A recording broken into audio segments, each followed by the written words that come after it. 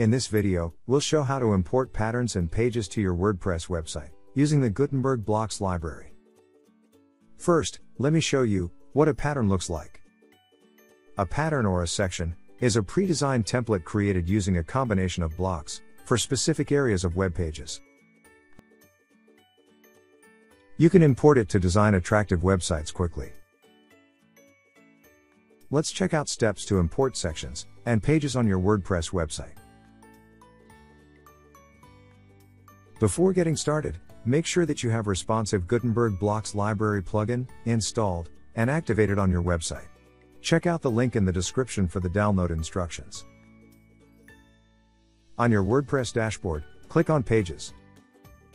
Add new or edit any existing page.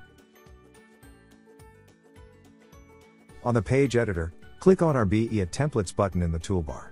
You will see this screen, with multiple pre-configured sections and pages, in respective tabs.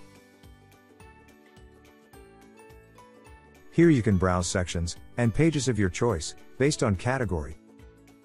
There are multiple categories available, like Hero, Portfolio, FAQ, Footer, Testimonial, and many more. Or simply enter the search term in the search bar. Upon hovering over any pattern, you will see the import button. Click on that to start the import process. After the import is complete, you will see the pattern of your choice added to your page. You can further tweak the styles, add blocks, as per your requirements to create a unique web page. Click on Block button to view the customizer options on the right panel.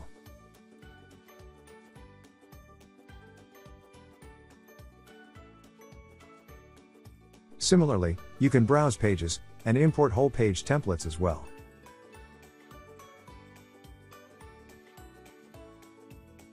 You can save sections or pages of your choice for quick access or future reference by clicking on the heart button.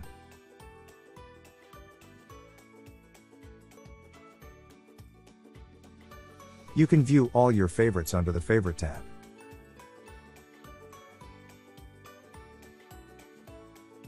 Once you're done, click on Update and check the final result.